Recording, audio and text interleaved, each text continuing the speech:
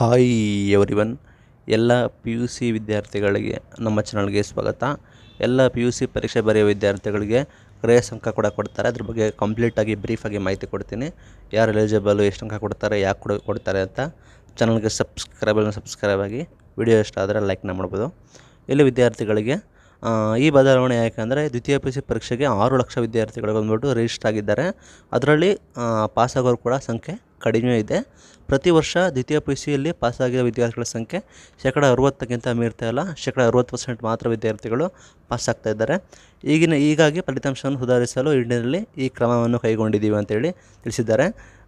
C B S C ಕೇಂದ್ರ ಮಂಡಳಿ ಸಂಸ್ಥೆಗಳು ಕೂಡ ಹನ್ನೆರಡನೇ ತರಗತಿ ವಿದ್ಯಾರ್ಥಿಗಳಿಗೆ ಶೇಕಡ ತೊಂಬತ್ತು ಪರ್ಸೆಂಟ್ಗಿಂತ ಹೆಚ್ಚು ರಿಸಲ್ಟ್ ಕೂಡ ಬಂದಿದೆ ಸಿ ಬಿ ಎಸ್ ಸಿ ಬೋರ್ಡ್ದು ಆದರೆ ಈ ಫಲಿತಾಂಶಕ್ಕೆ ಕಾರಣ ವಸ್ತುನಿಷ್ಠ ಪ್ರಶ್ನೆಗಳು ಮತ್ತು ಬಹು ಪ್ರಶ್ನೆಗಳು ಅಂತ ಹೇಳಿದ್ದಾರೆ. ಅದೇ ಮಾದರಿಯಲ್ಲಿ ನಿಮಗೂ ಕೂಡ ಪಿ ಯು ಸಿ ವಿದ್ಯಾರ್ಥಿಗಳಿಗೆ ಈ ರೀತಿ ನಿಯೋಜನೆ ಕೂಡ ಮಾಡಿದ್ದಾರೆ. ನಂತರ ಮೌಲ್ಯಮಾಪನ ವ್ಯವಸ್ಥೆಯಲ್ಲಿ ಬದಲಾವಣೆ ಸಹ ಅಂತಿಮಗೊಳಿಸಿದ್ದಾರೆ. ವಿದ್ಯಾರ್ಥಿಗಳು ಈ ಹಿಂದೆ ಎರಡು ವಿಷಯಗಳು ಶೇಕಡ ಐದು ಪರ್ಸೆಂಟ್ ಗ್ರೇಸ್ ಅಂಕ ಮಾತ್ರ ಪಡೀತಾಯಿದ್ರು ಒಂದು ಭಾಷೆಯಲ್ಲಿ ಮತ್ತು ಇನ್ನೊಂದು ಪ್ರಮುಖ ವಿಷಯದಲ್ಲಿ ವಿದ್ಯಾರ್ಥಿಗಳು ಯಾವುದೇ ಎರಡು ವಿಷಯದಲ್ಲಿ ಒಂದೇ ರೀತಿ ಗ್ರೇಸ್ ಮಾರ್ಕ್ಸ್ ಪಡೆಯುತ್ತಾರೆ. ಒಟ್ಟು ನಿಮಗೆ ಆರುನೂರು ಅಂಕಗಳಲ್ಲಿ ಇನ್ನೂರ ಹತ್ತು ಅಂಕ ಪಡೆಯುವ ವಿದ್ಯಾರ್ಥಿಯು ಗ್ರೇಸ್ ಅಂಕಗಳನ್ನು ಪಡೆಯಲು ಅರ್ಹರಾಗಿರುತ್ತಾರೆ. ಆರುನೂರು ಅಂಕಗಳಲ್ಲಿ ಇನ್ನೂರ ಹತ್ತು ಅಂಕಗಳನ್ನು ನೀವು ಪಡೆದುಕೊಂಡ್ರೆ ಗ್ರೇಸ್ ಮಾರ್ಕ್ಸ್ ಪಡೆಯಲು ಅರ್ಹರಾಗ್ತೀರಾ?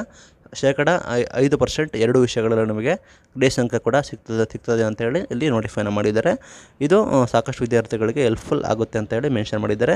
ಈ ಬಗ್ಗೆ ನಿರ್ದೇಶಕರಾದ ಪಿ ಯು ಬೋರ್ಡ್ ಡೈರೆಕ್ಟರಾದ ಗೋಪಾಲಕೃಷ್ಣ ಅವರು ಮಾತನಾಡಿ, ಫಲಿತಾಂಶವನ್ನು ಸುಧಾರಿಸುವ ನಿಟ್ಟಿನಲ್ಲಿ ದ್ವಿತೀಯ ಪಿ ಯು ಸಿ ಪರೀಕ್ಷೆಗೆ ಕೆಲವು ನಿಯಮಗಳನ್ನು ಮಾರ್ಪಡಿಸಿದ್ದೇವೆ.